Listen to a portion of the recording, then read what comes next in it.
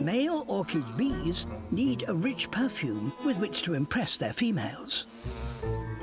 And the orchids provide it. But the bucket is slippery. And the liquid into which the bee has fallen is sticky.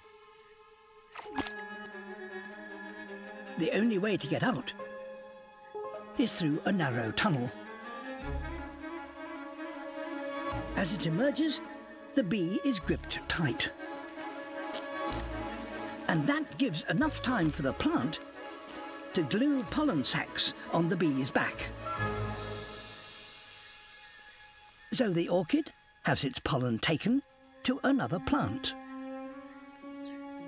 And the bee is rewarded with a perfume with which, when it recovers its strength, it can woo a female.